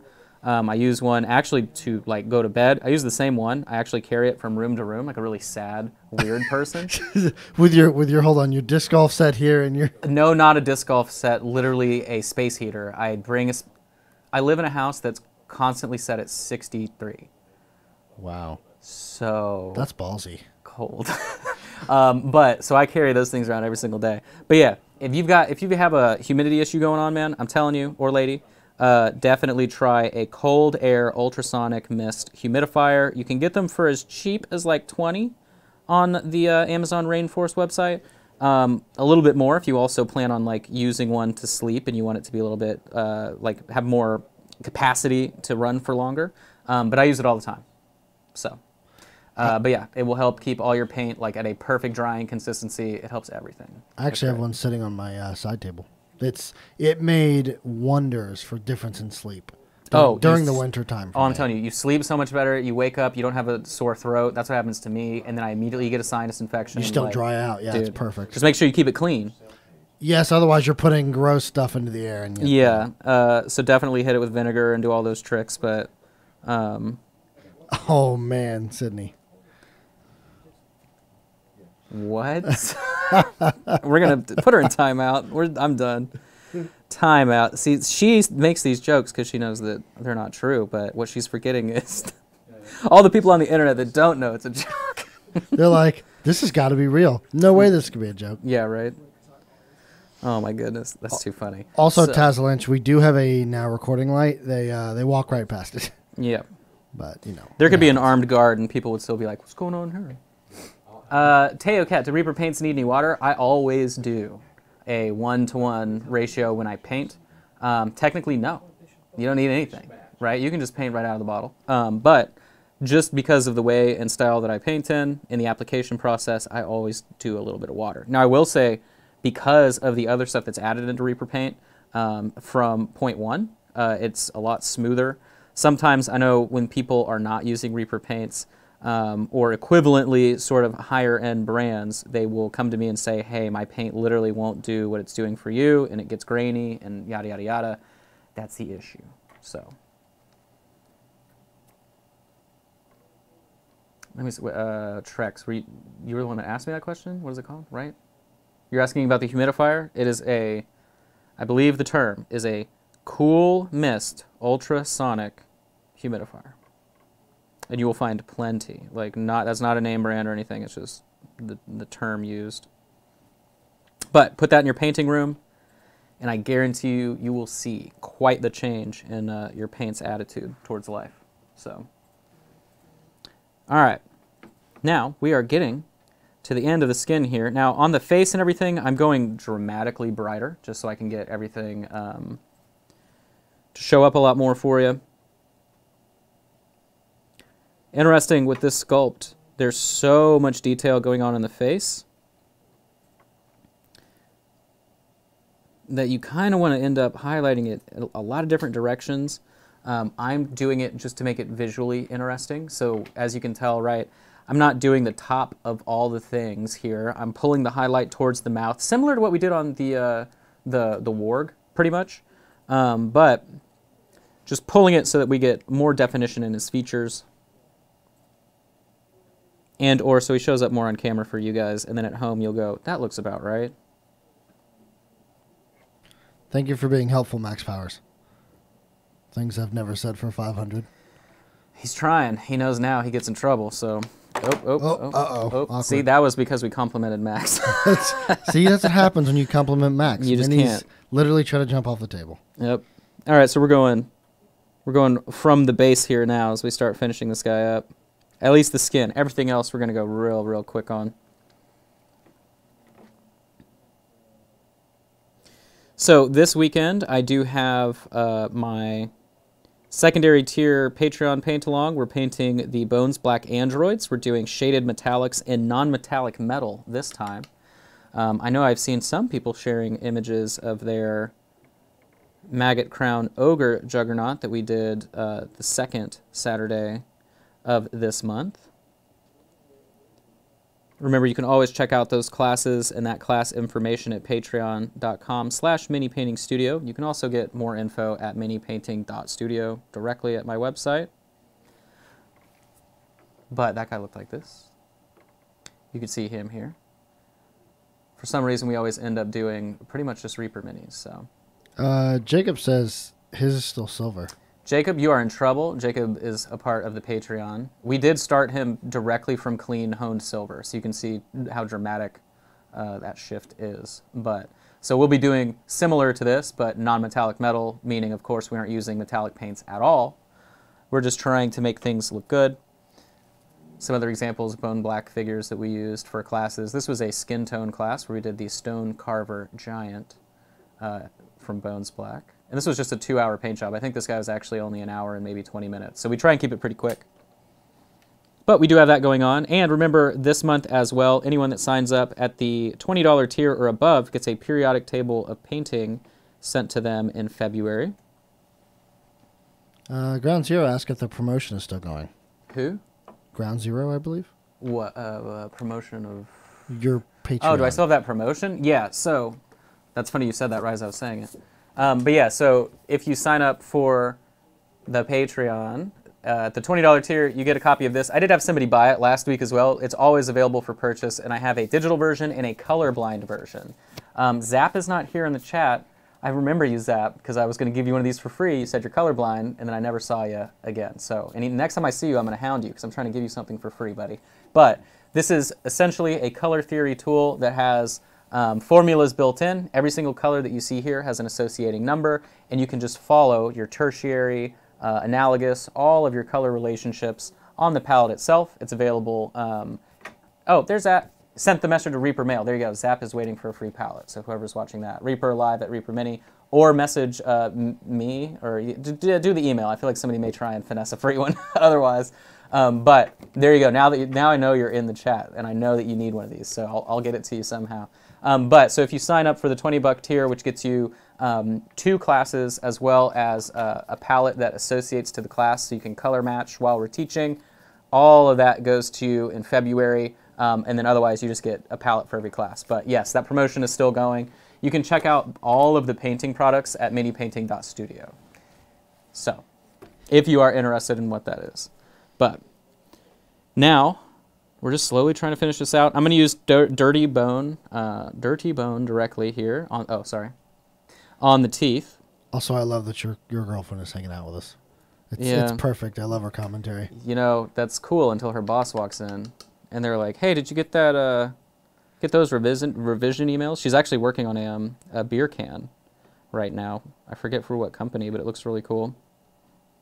She said it was a fish beer or something. It has like a pelican on it. Oh, okay. yeah. Kind of sounds gross though. Not gonna lie. I don't know. She keeps using that term. I'm thinking it's a fishing beer. I'm not sure. They're watching with you. Great. Really cool. Love it. That's like Jan. Jan says that they uh, they'll have me on in the living room and their kids are like, "You watching that guy again?" The answer is yes. Yes. Yes, they are. All right. So I'm happy where this is at now. We can move on to uh, finishing out the rest. So, ah, there you go. It's a beer to drink while you're fishing. Now it all makes sense. Yeah, that's that's much different than a fish beer. It's a fish. I mean, I guarantee you, a fish beer is a real thing, though. I believe you. I'm they will brew anything. Yeah, I completely agree that exists somewhere. I'm a fan of. I don't really drink like at all unless it's food, but I like um, sours. Oh, I used to be really into like gross IPAs, like the worse the better, um, like dark and just dingy. yeah, yeah. But now I'm into like sours and just weird stuff. So I'm taking Reaper Clear Blue. Oh, before I do that, let's finish up this thing we were doing here. Oh my gosh, wait a minute. Here we go. Okay, I forgot about the egg comment. So whenever I'm highlighting, whenever I have the thin paint, you can see because of the surface tension on top of my little palette here, I'm able to get a super clean highlight and taper it out to the color below as the paint runs off of the brush itself. So you can see I just did that there. Um, this, of course, is that special coating that I was talking about that holds paint like a miniature. So I'll do it again on top. So this will dry here in about two seconds.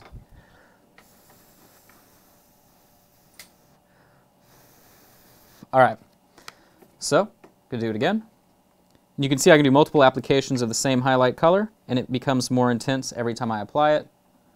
And all that is is making sure that the ratio of your paint is correct and friendly and nice while you're doing it. I know that's kind of hard to illustrate and understand on a flat surface. Um, I always suggest people try and do that as well. On a flat surface, just so you can physically see how your paint is moving. Um, what's interesting is a lot of people that are painting miniatures, right, uh, assume that the easiest way to illustrate or learn a technique is by painting on a miniature.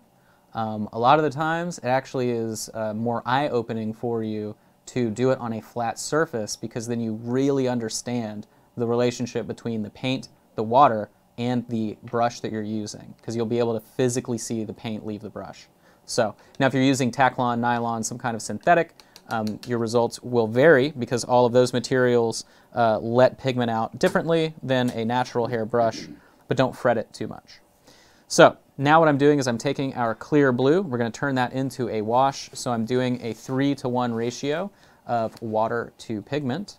I love the clear paints for this purpose as well as tinting, all kinds of neat tricks. But you can see here that is a one to one ratio. This is now a two to one ratio, and this is a three to one ratio. And by that I mean I'm just flooding my brush with water. And this is a little bit thin because I didn't grab enough to begin with, and there we go. So now I'm going to be running this on top of all his blueberries on his back. I think that's the new industry term we're going to be using there.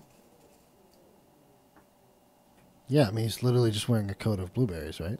Um, I mean, if I could, I would. I mean, it's not the worst thing to smell like. Yeah, I like the smell and the look aesthetically of blueberries. I don't care for the taste. Oh, you mean just like dirty water? Yeah, they, okay, so that's not just me then. Yeah, no, it's actually really hard. It's, I feel like they've been GMO'd out of existence essentially at Oh, this point. Sure. because they're just hard to grow um, all over the place. So, because yeah, I, I mean, I've had like a just really fresh off the vine, growing in somebody's backyard blueberry, and it didn't taste like anything I've ever had in a, from a store. So, um, I basically I'm kind of a peach snob for the same reason. peach snob. Yeah, my, my grandfather had a uh, pecan orchard and he had a bunch of peach trees. Wow. And there's nothing better than those peaches. Well, there you go. My uh, I will admit a part of that's probably nostalgia too, though. hey, that's why you can never try and replicate it. Exactly. But um, I'm the same way with honeysuckle. So like I won't have it as an adult. Like I won't try and go find a honeysuckle plant and be like, oh, let me eat this. Because as a kid, I thought that was like the coolest thing of all time. And then now as an adult, I'm like, someone sprayed this with something, and I'm like, you know, it's probably microbes and little animals and whatever. But that was where I grew up in the summer. That was like honeysuckle all over the neighborhood, and it was super fun to do. Oh, Hang out by the fireflies, do all that good stuff.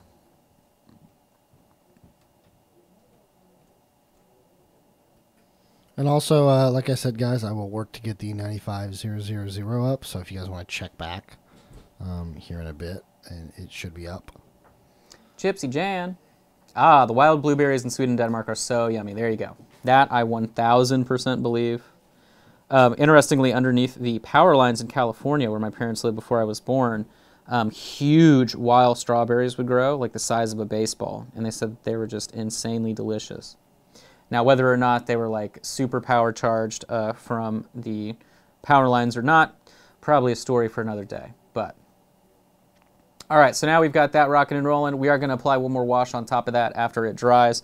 Um, you can tell that what I did here was darkened a bit, but what we did was apply that first and then the same overall tone wash that we did all over everything. So we're going to do that to finish up all the metal. Every other detail that we have. Uh, did they glow at night? No, they glowed uh, in your belly, actually. So, how did we do the, ah, that's how we did it. I'm also going to take this wash and apply it directly over the tongue. The tongue, the same way that we did the warg with a totally different color, I'm going to do the tongue, or sorry, let me illustrate and rephrase that entire thing. So the Hatter, yes. Uh, the so I believe that's what Justin's talking about is getting the kit of the just plain six colors, which is noir black, intense brown, uh, old gold, honed steel, linen white, and dirty bone. I believe. But all of those, maybe not dirty bone. There may be one. Uh, uh, there may be something I'm subbing out there incorrectly, but um, it's six paints. Those will remain the same. Everything else changes. So, speaking of our Noir Black, actually, I think Nightmare Black uh, is what ended up a lot in the first kit, but there you go, Max. See? I didn't think my parents were just completely lying to me. So, what I'm going to do is I'm going to take Noir Black and add quite a bit of water. Right now, it's at a one to one ratio. Looking at the wash that I applied here, I can tell that there's some color in it and it looks a little bit blue. So I'm actually going to take a little bit of the clear blue and mix that in and a little bit of the intense brown and mix that in as well. A little bit more of the blue. There we go. So I have sort of a muddy, deep, deep blue color. Kind of like a deep purple with that brown mixed in.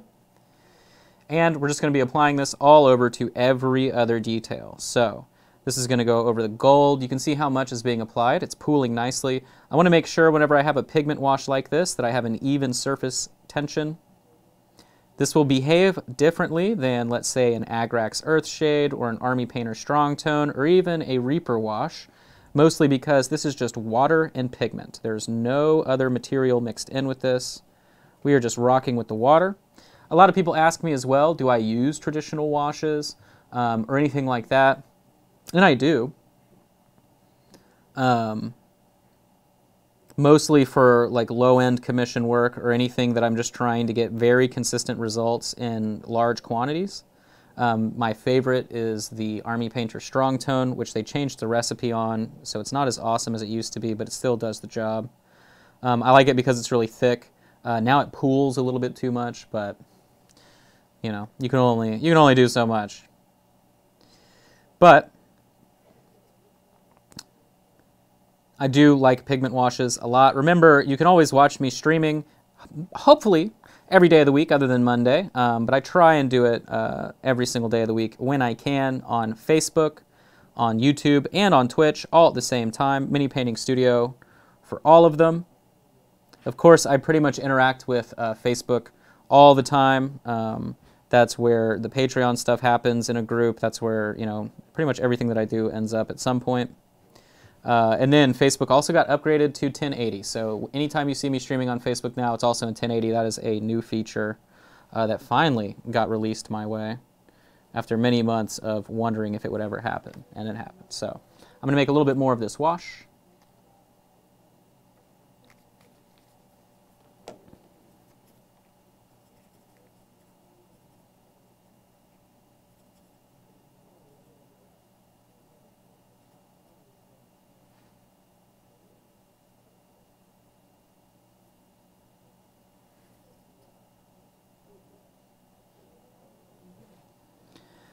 Applying it on the foot here.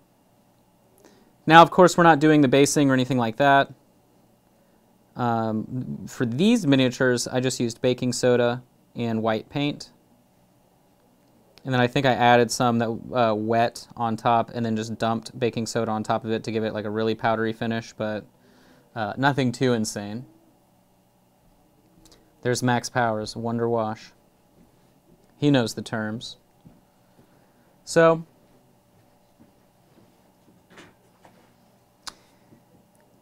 Xanatonium, tonium, that, uh, that's actually a direct result of quite a few different exercises that I recommend for people for brush control. Um, but of course, I have to push the product, the Power Up palette that teaches you brush control and layering paint correctly. You can check all that stuff out at minipainting.studio. But thank you for the compliment. That's, I mean, one of the things too that makes you a lot faster is if you paint with the same size brush for an extended amount of time. So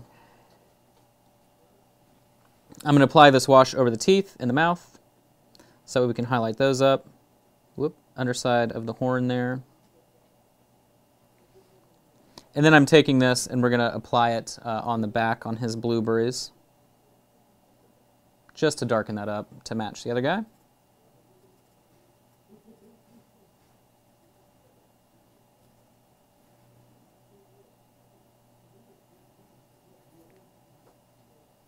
Also, I just talked to Ron about the core palette Mhm. going up for sale, so um, that should be pretty quick, pretty soon. I'm sure Ron is just loving it. he he is. He's He's I like, mean, oh my gosh, how many more things are a part of this show? Yeah, like like basically the rest of us up here. He's buried in work too, and he loves when I come in and I'm like, hey man, can you uh, can you can you do this real quick? I just need to browse that shelf to see if there's anything for this week, and I'll go in there. Hey man, what's this? yeah, what's what's this? What's this thing? Will you tell me a story? I like it when you tell me stories, Ron. Just just keep keep talking to me, Ron. yeah. Are you trying to work? I'm sorry. But yes, ninety five uh, zero zero zero should be up pretty soon. And then when applying the wash here, up on his little wristlet bands, and then we'll knock out uh, our rock as well. It's a little bit of a different concept here. Painting geometric shapes is always fun. So what I'm going to do is just wash directly on top of the rock.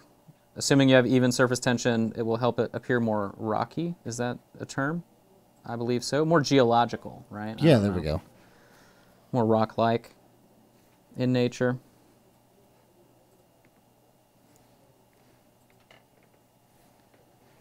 All right, so we're gonna let that hang out.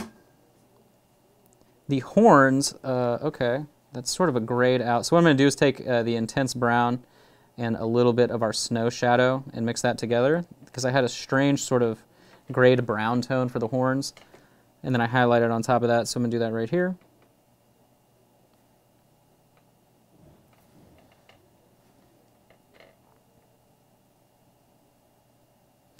And we are wrapping up everything else.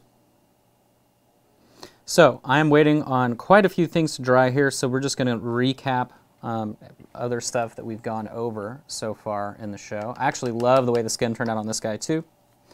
Um, but so, in case this is your first time watching, every month now, what we do is we have an encounter of four miniatures. You have a hero, a support character, a monster, and a big boss monster. So, this month we started off with this warg. He was the first miniature that we painted uh, on our Miniature Mondays show. So you can see him here. Then we had Oswald, the Overladen. He was our support character for this month.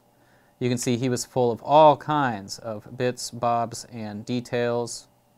Really, this was just an exercise in base coating everything slightly different colors so that you'd be able to go through and uh, wash them down. Thank you, CNOT, for the big old raid. Oh yeah, look at that that hefty raid. Thank you, CNOT. Big old raid. Um, will you put up a February kit for painting along? Yes. So, like I, like I was saying uh, earlier, I know I wasn't able to say it constantly the whole show. I'm about to show you the next miniatures that we're going to be working on, and then all that information will go up probably in a day or two once they take the photos, finish the graphic, and then put the SKU up for you guys to purchase as well. And then, uh, of course, what we're working on today, here was the first version that we did. So, like I said, I think our skin just turned out better. It's brighter, it's more dynamic, uh, sharper contrast. I just like it a little bit more. Like I, like I was saying, I was sort of struggling with the jump on the, the muscles. I think the muscles here worked a little bit better. And then our hero character for this month and the snow encounter is this dwarf right here, which, as you can tell, is wearing our, uh, our warg's uh, brother for a coat. So this guy should be pretty fun. Again, since he is a metal miniature, every set comes with one metal miniature. Um, and I know that that does make some people in, uh, uncomfortable that are new to the hobby and may have not used metal. So next week we will have a video of any prep work that I needed to do with this, and that will be uh, up for you guys as well. So, um, and then for next month, for all of you that may have been missing, our let, us see how are we going to do it. All right, so we'll start with our hero. Our hero is this wizard right here in a more muted red and green palette. So you can see the hero has a little bit more real estate, but I loved this miniature because it's a great exercise in painting cloth and highlighting it. Very, very simple. So you can see him here. Our support character is this wonderful friar. Now then, you can kind of get a hint as to our color palette for the month of February. Obviously, January, it was a lot of blue. This month, it is a lot more warm and muted tones. Now then, the story continues. You know, uh, this month our encounter was in a blizzard or a snowstorm. Uh, the hero then retreats into a cave. And so that's what you're seeing here on the bases is sort of this nice cave texture with a little bit of snow. So, now then, our smaller creature, probably one of my favorite paint jobs I've done in a while, is our crystal golem here. Now, I am warning everyone well in advance this is a finicky paint job. It does not take a super long time, but it does require a steady hand on some of the edge work. So just keep that in mind. Yes, coffee, the bases were just baking soda and paint. Not on top of glue though. It was just literally making like a paste out of baking soda um, and white paint. But so this guy is halfway translucent. Um, you can see it here. So the inside parts of the arms, his chest, and the crystals on the back are just straight up see-through, and then the rest merges into a painted mini, which was kind of really hard to figure out how to make that work, but made it work. And then the big boss monster, of course, is our big Yeti shaman here, and he is a little blown out from the camera. This should help you a little bit see this pink flesh he's got That's, going on. that's perfect. Yeah. Yeah. A lot of pink flesh. Um, similar technique as we used on the Warg to do the undercoating on the fur. And then he has sort of the same vibe of crystals for his weapons and his nice little necklace there. So, um, and then with this guy, we'll do a prep uh, video as well, um, using some sanding twigs and things like that to remove mold lines and make your life a bit easier. But so this is the encounter for February. Really, really exciting. Um, and then I think if you can guess what would happen after that, if our friends are going into a cave, you may be able to guess what happens uh, for March. But all of those, once they have their photos taken and they have a nice little uh, photo shoot, that will get thrown onto a graphic and they will be thrown into the kit so you guys can purchase them well ahead of time uh, for February. So, Correct. do not fret. So, you can see our wash is drying on top of everything. What we can work on now actually is probably just the stone. So I have Noir Black out already. I'm going to get a little bit of Linen White and we will just shade up the rock.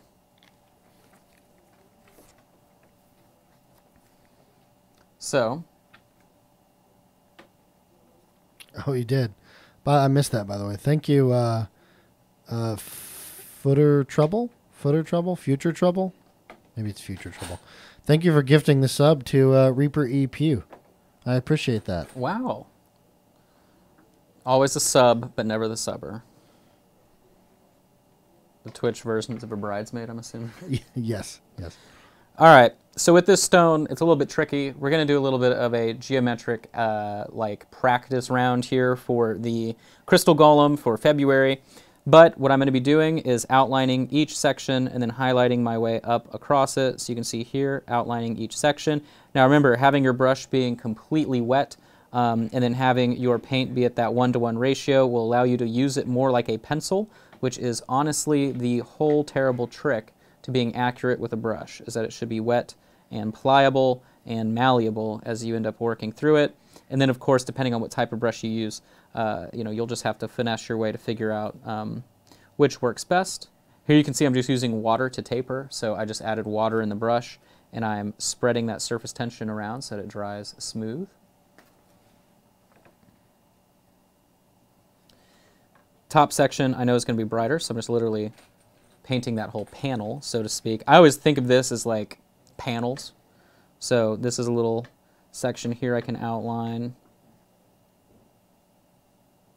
That's going to be brighter, so we're going to do that whole section. So, Numbat, you missed a lot today. That's totally fine. And why is that, Justin? That's because it's on YouTube. Whoa! So yeah, you can watch it on YouTube. You can also watch the uh, replay here on Twitch as well if you would like. Absolutely free, and yes.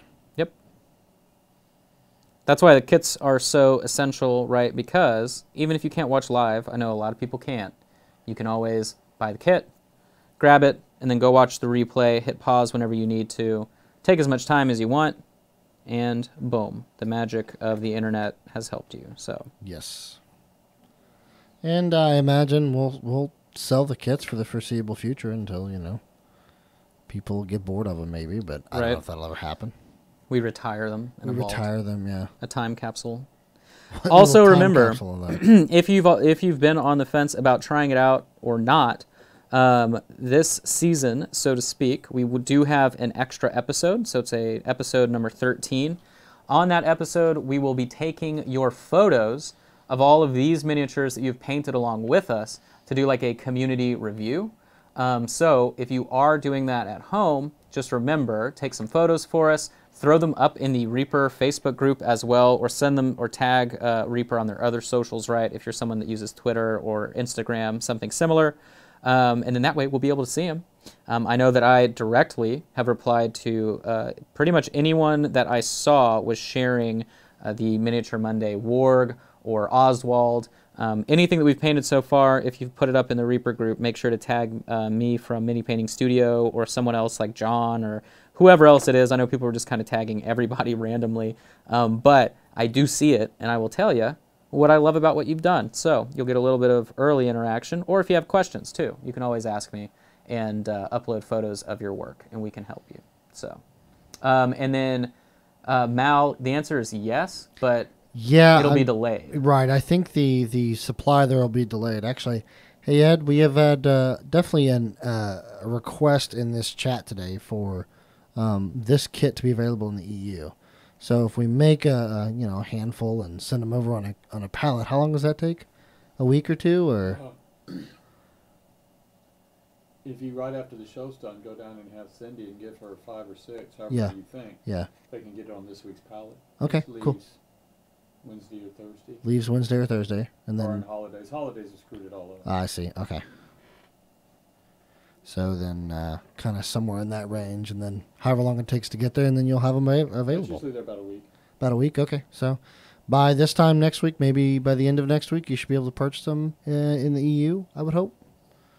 Um, give or take, of course. That's soon TM. Correct. As we are still trying to figure out just how many Yeah, exactly. need to exist in the first place. So, um, but I know you've been telling us in the chat that people have been buying. So that's awesome. I'm glad.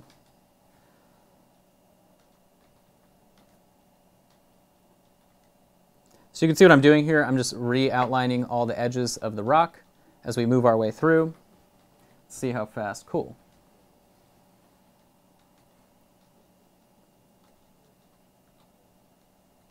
This is just for practice for when uh, we have the very daunting task of the transparent crystal golem.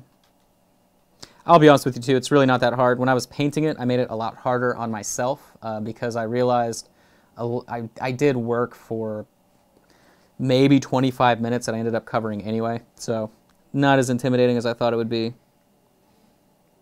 And the end result's pretty nice. Okay. So, I'm going to add some little scratches and texture and things like that for this final little layer of highlight.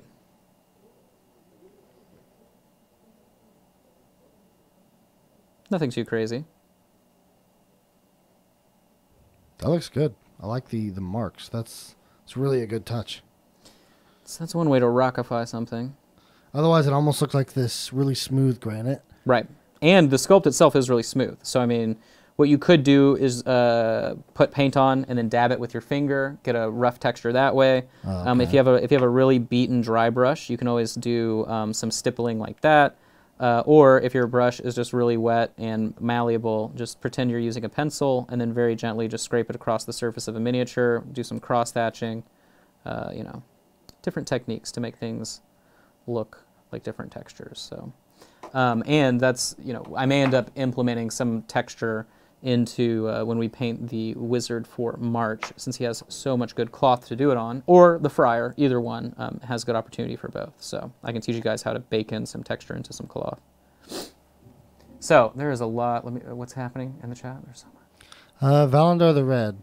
Are the Pathfinder paints demonstrative of the Reaper line as a whole? Yeah, Um, they're the are same. they?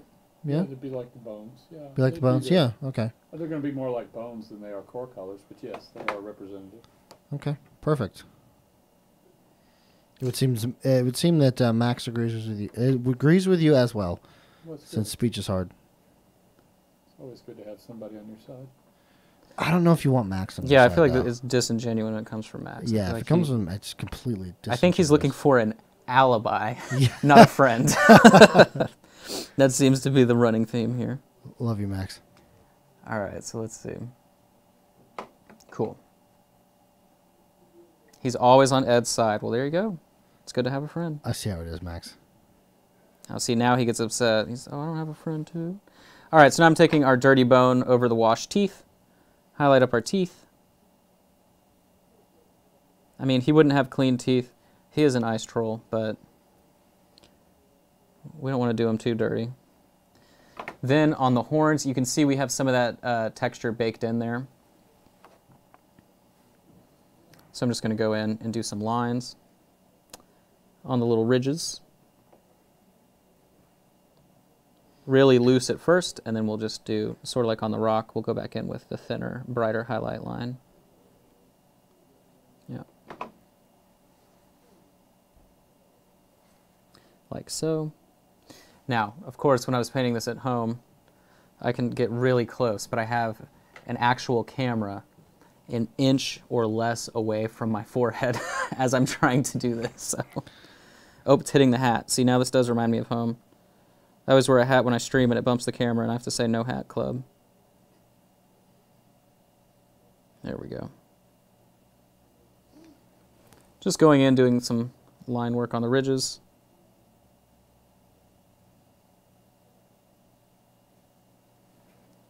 And I'll brighten these up a little bit more just to make them stand out.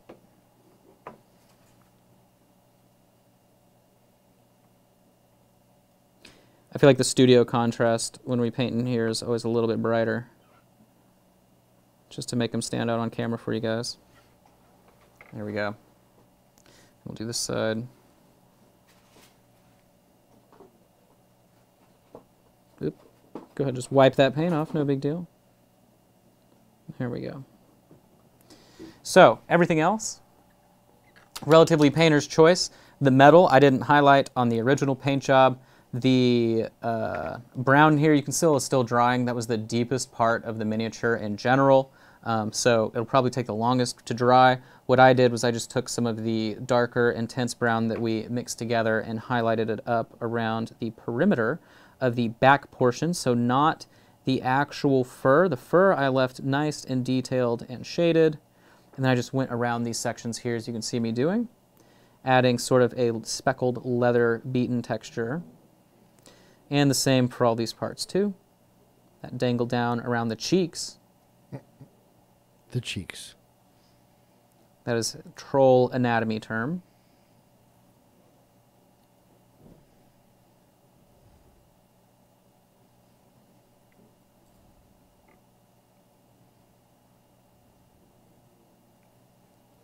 All right, so barring everything else that we're ignoring completely that we haven't done. Okay, yeah, that's what we had forgotten here, the nails. All right.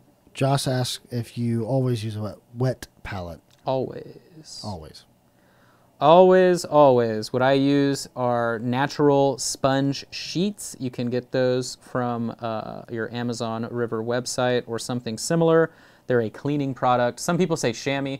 Um, these are separate from a chamois just because they're uh, like a natural shaped sponge. I think it's like a loofah that they're pressing into the shape. Um, but I use that. They typically come in a like, I think it's a five pack for maybe six dollars. They're about a dollar each. If you've ever bought um, a wet palette sponge before, you know that's definitely not what they charge you. So I would highly suggest that if you're on a budget. Um, and then I just use wax paper on top uh, for, for like baking paper, and that's it. So I also don't use a wet palette. This was a question that I was getting from some people too. Um, I don't use a wet palette in order to save my paint for later. Um, I know that some people do that because they paint um, in multiple sessions, right, and they don't want to have to remix colors. I use it as a functionality um, bonus, so to speak, because I try and get my paint so thin that this allows me to get crazy thin paint without it drying on me. So I don't necessarily care about saving the paint for later. I just want it to be way, way, way, way thin whenever I use it. So, um, oh, Max, also, this is just a black nitrile glove. So, in case you're wondering, size uh, painter's hands, because I have small hands. Um, but I know, um, so like if you go to minipainting.studio and click on the Amazon link at the top, I have all of these different materials linked. So if you are going to try and buy these uh, supplies, please do it through the link because I get like three pennies for every purchase, so that does help me out. Um, but uh, you can get all that information there. Just remember, okay, Max, so yes, you can order the exact size that I have listed. Um, otherwise, don't be like uh, one of my Patreon people, Peter, I believe, who bought them and uh, forgot to get the size that made sense for him. So then he just shipped them to me in the mail. so they're very small. Um, but beyond that, I think that Justin, just ignore it. We're just we're beyond that point in the day. oh Um, man, this is. I don't want her to ever leave. okay. This is great. All right. Well, if she needs more incentive for me to never break up with her, because we'll just hear that. So, hey, thanks so much for the kind words. Um, we're gonna buy that lamp. Awesome. Is that the big one, the big bar? Which I think I have two lamps listed. Either way, you're totally fine. They're awesome. Um, uh, both of them are, I believe, five brand, and one is the 31 inch or 32 inch bar. That's the one I use right now. Um, and then if it's the one that's like 16 inches that swivels on the hinge, that one is great too. That's the one that Sydney uses uh, when she paints and is helping me at my house. So, but yeah, the swing arm. There you go. So the, yeah, coffee. That's the one that Sydney uses. She can tell you if it's a good lamp. She likes it. Um, she was painting hundreds of bases this weekend to try and save my life. So, um, as I'm working on other stuff, but boom. Anyway, uh, I think that's it for this miniature. Um, thanks so much, as always, for watching. We'll go back over uh, our schedule that we have. Um, so, of course, I will be here on Mondays with you. Um, then you have uh, Ed and Anne on Tuesdays. No? Yes. Yes. that's correct. What, he, okay. Anyway, It's it's and then Ed. And then Ed. Yes, she's in the morning at 11 uh, CST, um, and then all the other shows in general start at three. Yes. Yes. Um, then Wednesday is Painting Platinum. hmm No, that's Thursdays. Thursday, Wednesday is Anne. Yes. Anne as well. This is off the top. I had a I had a cue card last time. I'm sorry, guys. All, all all of and. you. It's all Anne. It's all Anne uh, Tuesday through Thursday, right? Yes. She, yeah. So she In the does morning, In the mornings. Um, then Thursday is Painting Platinum. Then Friday is Reaperland and Reaper Live. Re- Or am I having this wrong? Is that on Thursday? So Wednesday, Anne we get two doses of and. You get her at eleven. You get her at three. Reaper Toolbox, and then the pro tips. Thursday, you get Anne, and then you get Sadie for painting platinum. And then you get Reaper Live at six. There you go. Okay. Then Friday, although we discussed it today, we're gonna we're, we're gonna change some stuff up. Uh, Friday is Bones Five Live slash Reaperland at three o'clock, and then that's it. Boom. Then it resets Monday with the lovely Josh here, better known as Vanna White.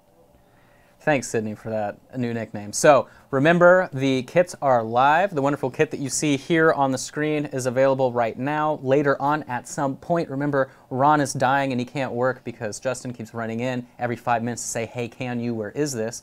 Um, but at some point, those six core colors will be available for you, and then all of the miniatures that I brought here today for February will have their pretty glamour shots taken, and then the graphic will be available, and that kit will go for sale for you um, for the first Monday in February. I don't know if that's immediate.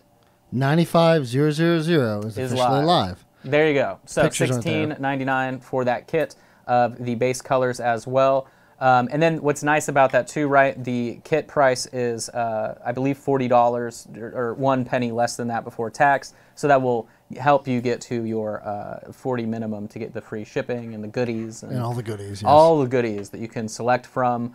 Um, and that is, uh, I believe, all that info. Remember, you can check me out on Facebook, everything I have going on. I try and stream Tuesday through Friday uh, whenever I can at 2 p.m. CST for about an hour. Um, I do two classes every month as well, available through Patreon. You can check that info at patreon.com slash mini painting studio. Big thanks again to everyone that signed up. I know I've had quite a few people sign up. That really helps me out so I can keep feeding my cat so we can get fatter and fatter and happier and happier. And then this week as well, or this month, sorry, for the rest of January, if you do sign up at the $20 level, I will send you a nice periodic table of painting in February to go along with your painting palettes that correspond to every single class. So, if that is something you're interested in, make sure to check it out. But that being said, the second you sign up for as cheap as $5 a month, you get access to over 56 hours of class content immediately, as well as the class second Saturday of the month. So,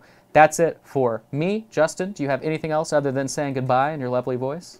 Uh, goodbye. No, uh, actually, I would say just check out the kit. Um, ninety five zero zero zero again. That is uh, should be there. I just I just put it in on our website. It looks like I can pull it up. There should be pictures too. Um, outside of that, just follow along on Josh and keep tuning in, guys. Uh, Reaper is my addiction. If you go to minipainting.studio, there's a button at the top that just says Amazon, and it'll take you to a little page to answer your question. So, but thanks so much, everybody, for the compliments. I hope you enjoyed it. I hope the uh, skin that you worked on today turns out great. Remember, put it in the Reaper group. I'll help you out if you have any questions. We'll show it off, and I think that's it.